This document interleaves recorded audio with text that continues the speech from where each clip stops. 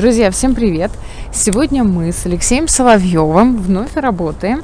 У нас некий субботник. Находимся в коттеджном поселке Рублево парк. Занимаемся санитарной обрезкой кустарников, а также формируем из кустовой ирги зонтики. Что будет получаться, покажу. Леша, поздоровайся, пожалуйста. Я тут, я тут, тут, тут, тут, тут. Всем привет, привет, привет. Итак, у нас есть прекрасный кустик ирги, который уже от природы, ну или от питомника прекрасно сформирован. Внутри практически ничего не пересекается, равномерная крона, и уже издалека прослеживается то, что очень многие любят. Зонт! Я хочу зонт! Зонтик или шарик, да. То есть прекрасно очищенными снизу веточками сформированными. И вот из таких кустов, в том числе в европейских питомниках, формируют зонты и прочие красивые штуки. Обрезка, как и любого кустарника лиственного, подразумевает то, что нам надо все, что внутри мешается, идет в нахлест, в перехлест, друг друга затеняет, перетирает. Это мы все убираем, только без фанатизма, потому что сегодня мы из нее сформируем зонтик. С учетом того, что посадка свежая, очень жесткую обрезку делать ей нельзя. Ну вот, например, вот эта веточка, у нее будущее какое? Вот, вот эти вот почки проснутся, пойдут ветки. Угу. Одна пойдет сюда, угу. другая пойдет сюда, угу. это пойдет сюда вот куда-то. В будущем они примерно вот так вот обнимутся. То вот есть так это вот. будет загущение кроны, да? Вот так вот будут друг друга перетирать. Угу. В итоге, естественным образом, дерево, так как ветки находятся в темноте, он будет их сам заставлять засыхать, потому что они в темноте. То есть я убираю те, которые в будущем могут сильно друг с другом перетираться. Также я убираю веточки, которые уже муцухи. Вот эта вот уже веточка, вот она даже ее не резала, она просто отломилась. Вот их видно, на них нету живых почек. То есть вот живые почки, на этой у нас ничего нет, она уже сухая. Вот. Поэтому это уже та самая санитарная чистка. То есть просто убираю сухие ветки. Какие-то сломались, какие-то сухие, их убираю. То есть это у нас первая любая стрижка начинается с обычной санитарной обрезки. Вот опять же, это ирга уже сформирована, у нее голые ноги. Что это у нас дает в будущем для что шарика, что конуса. Это и туи касается, и сосны, и елочки. Когда у нас нижняя ножка оголена, у нас гораздо выразительнее играет объем уже сформированной кроны. И когда вот это вот все в такой в зеленой массе, в сочной, а тут голые ноги, ощущение как раз вот этого парящего зонтика, облака, и, и получается. Да, опять же, если мы срежем слишком много, мы можем добиться эффекта, что она у нас перестанет цвести, потому что цветут у нее почки, ну, цветочные, заложившиеся в прошлом году все-таки. Поэтому увлекаться совсем с обрезкой не стоит. Скажи, пожалуйста, что ты вкладываешь в понятие именно санитарной обрезки, санитарной стрижки? И почему она необходима каждый год?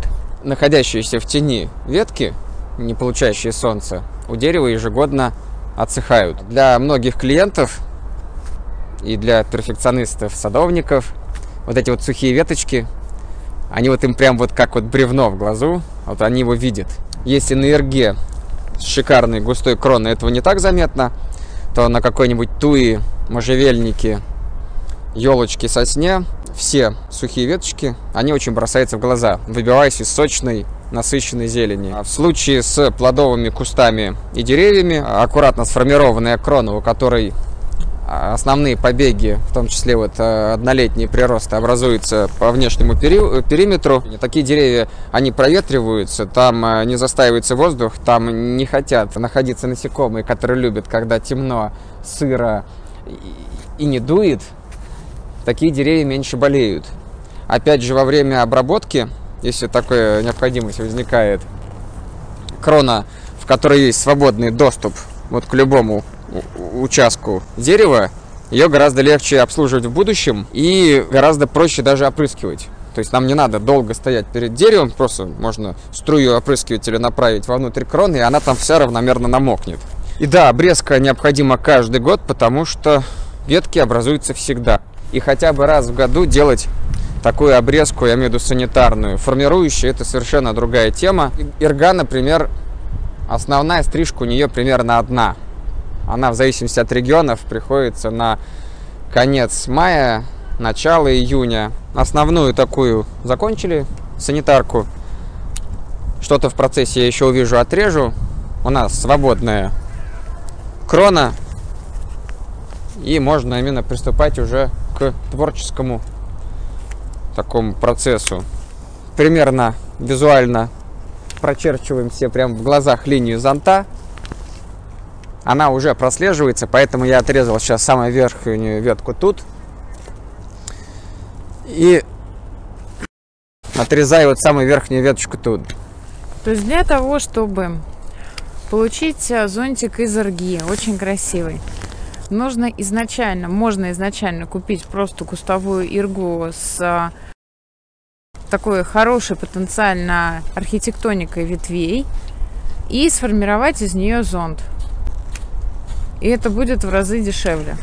Главное оставлять живые почки, потому что если я сейчас вот срежу все, и у нас останутся такие обрубки, для дерева будет колоссальный стресс. Вместо того, чтобы цвести, показывать нам густую крону из листьев, он будет пытаться пробудить и, и пробудит спящие почки и затратит на это колоссальное количество своих ресурсов. А ему еще восстанавливать корневую систему после посадки. Друзья, у меня не очень хорошие новости. Пока проводили санитарную обрезку с Алексеем, обнаружили, что у меня одна эрга проснулась. Причем вышла она из э, спячки в феврале, а это губительно для нашей полосы, для наших растений, потому что ночные заморозки никто не отменял. Это не гарантийный случай. Будем сейчас, конечно, пытаться как-то спасать ее. Сейчас покажу, как выглядит ирга в феврале нормально и как выглядит ирга, у которой случился фальстарт. Итак, вот, друзья, посмотрите, вот так вот должна выглядеть феврале Ирга, у которой все в порядке, которая находится еще в своем правильном состоянии, она готовится к весне. А вот так выглядит Ирга, которая в феврале решила, что у нее уже случилась весна. Она тронулась в рост. Где вот, покажи мне, Леша. Вот у нее пошли молодые приросты. И они все побились морозами. Вот здесь вот тоже я вижу. Февраль месяц растение решило выйти из зимней спячки. И, к сожалению, такое поведение губительно для этого куста. Леш, что ты сейчас делаешь? обрезая все погибшие веточки, которые уже засохли, которые уже никогда не оживут. Поэтому у нас сейчас останется такая не очень симпатичная картина. Наверняка сейчас будет много вопросов и много мнений, что вот если полить эпином или цирконом, то сейчас это можно спасти дерево. Что скажешь на это? Тут уже видно, живых почек нет, ветки ломаются как труха. Они просто ломаются, они высохшие, ну, уже все погибшие, поэтому мертвую древесину мы никакими стимуляторами, к сожалению, спасти не можем, поэтому сейчас мы вырезаем все, что засохло, замерзло. Будем надеяться, что летом из оставшегося одного-двух стволов получится сформировать новую крону. А сейчас мы это дело просто вырезаем все, что засохло. А если кто-то, например, предположит, а что если под корень пролить это растение каким-нибудь чудодейственным раствором аппарата? Поможет ли это? Оно простимулирует, конечно, оставшуюся корневую систему Единственное, что этим мы добьемся, это пойдет вот поросль снизу, ну вот подземные какие-то почки проснутся, и они пойдут. А так вот это вот все, что сверху, оно уже все, оно уже засохло. Сейчас вот основное прекрасное средство это вот ножовка. если будет принято решение оставлять эту иргу здесь, не выкапывать, то ближайшие 1-2 сезона мы будем ей давать э, развиваться так, как вот она в природе сама будет расти. Вот, только То есть по... ты, ты исключаешь на ближайшие два года обрезку для этого дерева? Ну, ну на куста. ближайший сезон больше с ней ничего делать, кроме как корни стимуляторы, э, стимуляторы роста по листве и э, обрезки, э, необходимые, точнее, подкормки, да, больше мы ничего делать с ней не будем. Опять же, какие-то отдельные веточки. Кстати, вот тут вот яркий пример о перетирающихся, пересекающихся ветвях, которые в будущем будут друг другу мешать. Вот тут уже видно, как одна натирает ветка другую.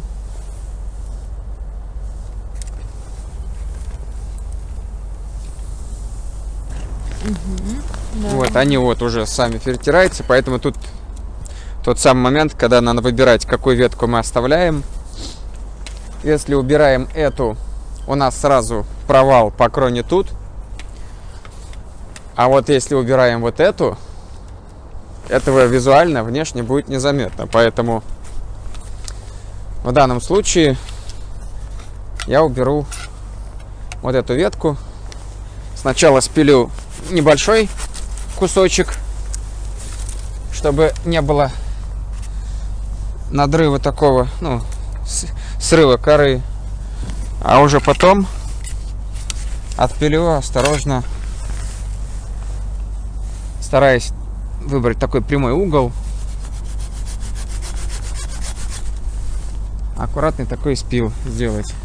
Можно его чуть-чуть поближе сделать к стволу, доработать.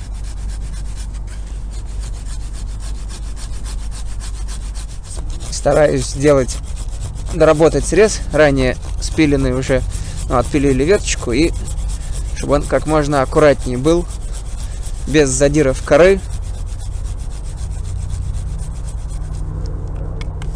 чтобы была площадь раны а, как можно меньше, а как можно площадь меньше будет только у круга. Овальные спилы нам не нужны.